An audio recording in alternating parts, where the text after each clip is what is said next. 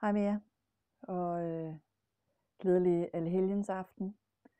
Det er øh, rigtig blæsvejr her hos mig, og øh, udenfor der ligger bladene tykke bunker, og øh, det hele er gult og smukt og brunt, og jeg elsker den her årstid.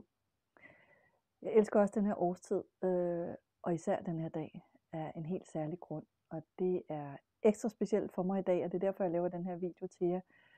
Øh, for i dag, der er det præcis fem år siden, at øh, jeg gik ud af porten på mit gamle arbejde, Kroppedam Museum, og sagde farvel til øh, en fuldtidsstilling øh, som museumsinspektør. Øh, jeg var kort forinden også øh, flyttet fra mit hjem øh, gennem 16 år. Jeg havde forladt et ægteskab. Øh, og jeg sprang ud i et liv som fuldtidsselvstændig, som ingen rigtig troede på kunne bære. Fordi øh, urter og shamanisme, det kan der i dag virkelig ikke være nogen, der kan leve af.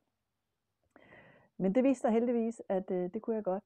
Og øh, sidenhen så øh, gik det jo sådan, at jeg fik det mest vidunderlige hus i skoven ved Gisselfeldt Kloster, og der havde jeg fire formidable år, hvor at øh, skoven helede mig, og øh, hvis du har læst øh, mit nyhedsbrev i dag, skriver jeg også lidt om den her sjælens mørke nat, som jeg bestemt fik lov at gå igennem i den her proces med at finde mig selv øh, og finde ud af, hvem jeg var, når jeg stod på egne ben. Det synes jeg, jeg har fundet ud af i dag, øh, og jeg er dybt, dybt taknemmelig over alle de mennesker, der har stået ved siden af mig på den her rejse, og stadig står der, og de mennesker, der står og vinker ude i horisonten, øh, for de gør mit liv og min hverdag til noget helt specielt. Øh, en milepæl var sidste år ved samme tid, da jeg udgav min første bog, Blandt ord, der er elverfolk.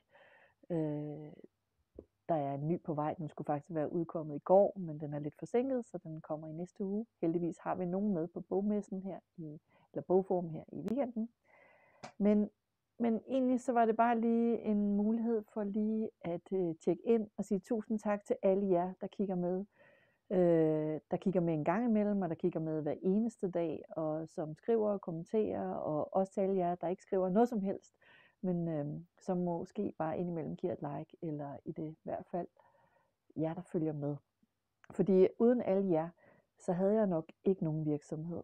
Øh, det kan godt være, at jeg ville dele øh, alt det, mit hjerte flyder over med alligevel, men det handler rigtig meget for jer, eller for mig, om at inspirere jer, inspirere jer til at komme naturen nærmere, til at øh, møde årstiderne, til at lære de planter at kende, der vokser lige uden for vores dør.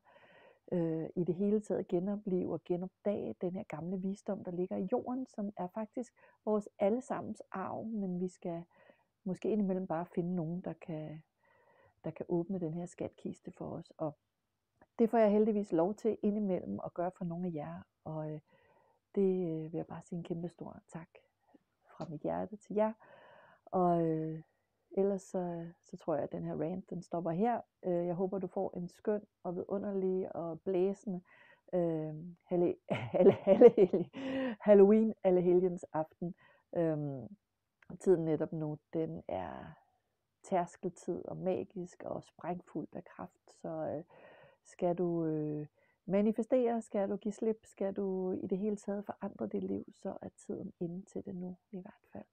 Og ellers ønsker jeg dig bare en fantastisk vinter, øh, for det er alhelgen også porten til vintermånederne og vinter over halvåret.